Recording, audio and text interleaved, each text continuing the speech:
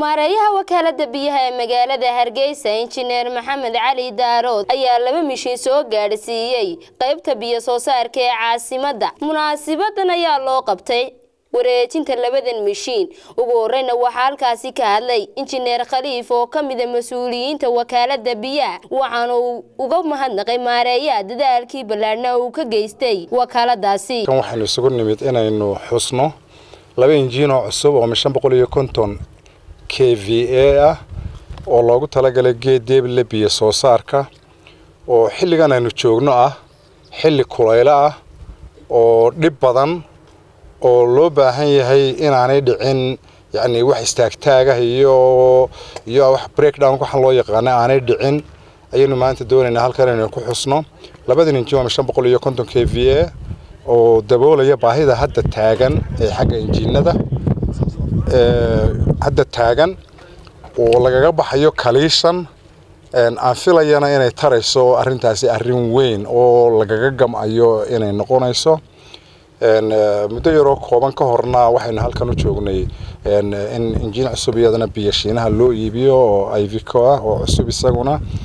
Marka inay halkaasi ku daboolantay baahidii taagnayd ee xagga biyo soo saarku gaadiid cusubna loo iibiyey oo muddadaa yaroo kooban maarayuhu joogay uu hawshaasi ku dhiiraday waxaan ku bogaadinayaa maareeyaha cusub master maxamed daarood inuu u dhega nugul yahay inuu talada wixii wanaagsan qaato intii ay munaasabadaasi socotay waxaa hadalka qaatay maareeyaha wakaalada biyaha ee magaalada hargeysa injineer maxamed cali daarood.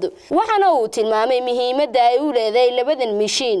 Maanta sida injineerku bay xusay injineer khaliif waxaan halkan u joognaa xusida laba mishiin oo waaweyn oo nooca beerkiniska ah oo qiimadooda kor u dhaafaya runtii boqol kun oo dollar inaynu halkan ku wareejino qolada biyo soo saarka.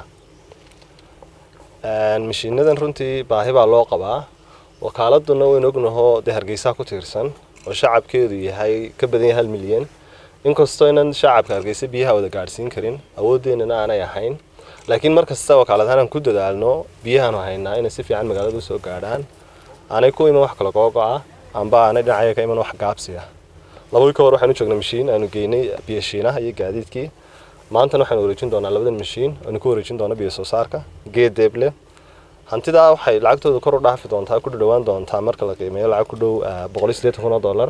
Runtii waa hanti qaaliya wakaaladuna waa meesha ugu mudan inaan u hurno wixii lacaga la maalgeliyo oo awood lahaato waayo biyuhu waa noloshii lagama maarmi karo.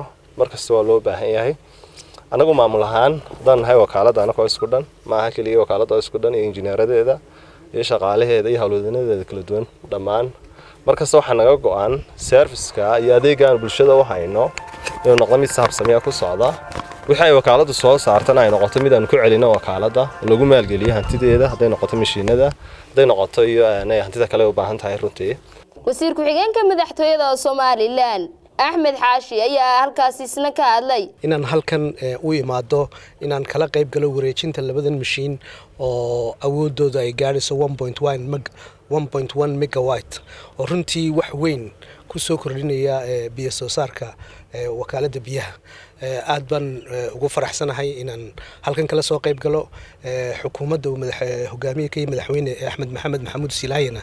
Waxay idin tusaysaa sida ay muhiimadda u siinayso wax soo saarka biyaha iyo inay dadka caasimaddu helaan biyo ku filan taasoo aanay imika helin laakiin dee ujeeddadu ay tahay mashruucan cusub imika marka la dhammaystiro haddii aan la yidhaahdo ay biyo ku filan oo nadiifa oo la awoodi kara ay soo gaadhaan dadka. Taas weeye siyaasadda guud ee muddada dheer ee runtii ay ku shaqaynaysaa xukuumaddu maareeyaha cusub runtii waxaan uga mahad celinayaa sida firfircown ee intii uu joogay wakaaladda howlaha uu dardar u geliyey gaar ahaan inuu ku soo kordhiyo qalab qiimo intaa leegdhan boqol iyo siddeetan kun oo dollar. Muddo yaroo aan afar bilood ahayn gudahood. Waxaan qabaa maareeyo hadduu intaa ka hor joogi lahaa inay wakaaladdu runtii wax ka badan awoodi lahayd inay qabsato. Waa ilaahay mahaddii maanta hadduu intaa isagoo joogay uu keenay. Waxaanan had iyo jeer la garab taagannahay wasaarad ahaan iyo xukuumad ahaanba wixii biya maaha wakaaladda hargeysa oo keliya laakiin wax allayaalo wixii biyaha wadanka wax ka taraya oo dhan xukuumaddu muhiimadda koowaad baanay siinaysaa waxaanay la garab taagan tahay hiil iyo hooba hadday noqoto dhaqaale hadday noqoto talo hadday noqoto wax kale oo lagu taakaleeyo arrimaha biyaha ka shaqaynaya waxaanan ku bogaadinayaa maareeyaha inuu hawsha halkaa ka sii wado. Oo runtii dee meel buu gaadhsiiyey. Wixii kalenu ka filaynaana waa wax aad intaa aada uga badan. Waxaan rajaynaynaa mustaqbalkana runtii inay intaa wax ka wanaagsan wakaaladdu ay gaadho. Ugu dambeyntiina waxaa mashiinadii la wareegay madaxda biyo soo saarka ee wakaalada magaalada hargeysa faadumo ismaaciil muuse faadumo riyaad telefishinka star t v magaalada hargeysa